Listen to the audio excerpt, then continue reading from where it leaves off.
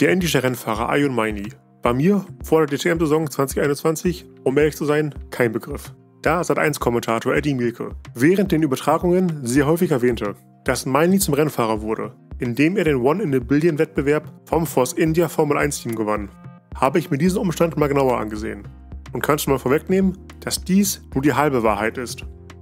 Blicken wir also einmal auf die bisherige Karriere von Ayun Maini zurück.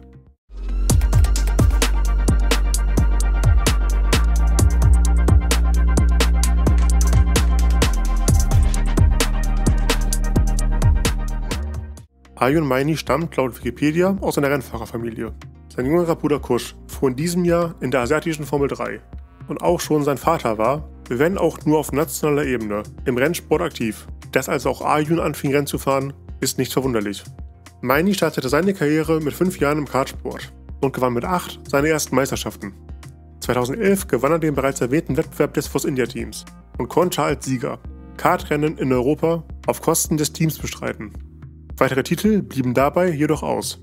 2013 erfolgte der Wechsel in den Formelsport und er wurde Zweiter in der JK Racing India Series und Vierter in der Asian Cup Series. Ein Jahr später ging es nach Europa zurück und er trat in der britischen Formel 4 an. Den Meistertitel verpasste er um drei Punkte und ein gewisser George Russell wurde Meister. Keine Ahnung, wer das sein soll.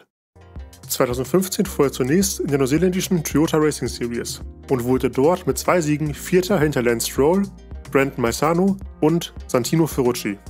Danach ging es in die europäische Formel 3, welche als eine der härtesten Nachwuchsrennserien weltweit galt. Auf Ergebnisseite konnte er nicht an seine Erfolge anknüpfen und wurde 18. im Gesamtklassement. Beim Macau Grand Prix im November wurde er 10., was zwar kein überragendes Ergebnis ist. Er konnte damit jedoch Fahrer wie Alex Albon, Nick Cassidy oder Callum Eilert hinter sich lassen.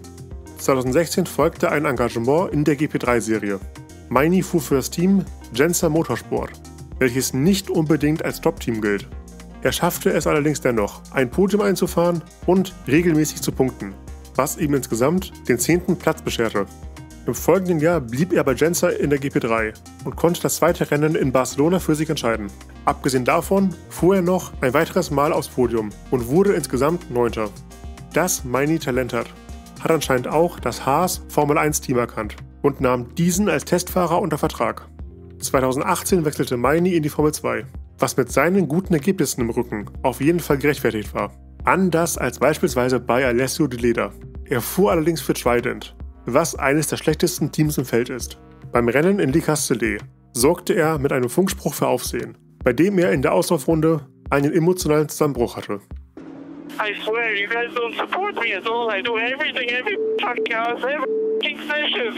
You can't do this to me, mate. I'm not power out of the corner. Why doesn't anybody believe me? I don't rate this championship anymore. Ein Team zu haben, das scheinbar nicht hinter ihm steht, ist schon schlimm genug. Was ich aber fast genauso schlimm finde, ist die Reaktion der Kommentatoren, die ihm ungefähr so viel Beistand leisteten, wie Dr. Helmut Marko einem Red Bull Junioren mit schlechten Ergebnissen. Well, I think he wasn't particularly happy. I don't think so. No, no. Wow. I'm very unhappy Wow. man. That's something I've never heard anything He- so bad. I think in my entire career. Das zweite Mal wurde Maini in Silverstone ins Rampenlicht gerückt, als er von seinem Teamkollegen Santino Ferrucci in der Auslaufrunde absichtlich gerammt wurde. Die Saison lief jedoch allgemein eher bescheiden und er wurde mit drei fünften Plätzen als Highlight 16. im Gesamtklassement. Nachdem er für die Saison 2019 kein Cockpit in der Formel 2 erhalten hat, trat er in der European Le Mans Series in der LMP2-Klasse an, wo er insgesamt nur 5,5 Punkte einfahren konnte. Zwischenzeitlich kehrte er mit Campos für drei Rennwochenenden in die Formel 2 zurück. Er blieb jedoch ohne Punkte und wurde letztendlich durch Marino Sato ersetzt. Nach Saisonende der European Le Mans Series trat er noch bei den ersten beiden Rennen in der Asian Le Mans Series an und konnte die vier Stunden von Shanghai in der Pro-M-Wertung gewinnen. Maini blieb vorerst dem Prototypensport treu und trat 2021 in der durch Corona komprimierten Asian Le Mans Series an, welche er ohne Siege oder Podiumsplätze auf dem fünften Rang beendete. Am 25. März wurde verkündet, dass Maini mit dem Mercedes-Team Gatspeed in die DTM einsteigen wird und damit der erste Inder in der deutschen Traditionsserie wird. Trotz fehlender GT3-Erfahrung gelangen ihm im Laufe der Testfahrten solide Rundenzeiten, die ihn im vorderen Mittelfeld platzierten. Die ersten Rennen verliefen jedoch weniger rund und er sah in den ersten sechs Läufen nur zweimal die Zielflagge. Beim siebten Rennen auf dem Nürburgring fuhr er das erste Mal in die Punkte und wiederholte diese Leistung bei den beiden Läufen auf dem Red Bull Ring, nachdem Meini sich beim ersten Rennen auf dem Hockenheimring nicht gerade mit Ruhm bekleckerte und in der Spitzkehre dem Polsetter Lukas Auer abschoss, gelang es ihm beim vorletzten Rennen der Saison auf dem Norrisring auf den zweiten Platz und damit das erste Mal aufs Podium zu fahren. Er schloss die Saison mit 48 Punkten auf dem 12. Gesamtrang ab. Das Gatsby-Team verkündete erst kürzlich, dass Meini auch im nächsten Jahr in der DTM fahren wird. Seine Zukunft ist also gesichert. Und wenn er an seine Lernkurve anschließen kann, wird auch im nächsten Jahr der ein oder andere Podestplatz drin sein. Zudem will Gatspeed sein Engagement ausbauen und mehr als ein Fahrzeug einsetzen.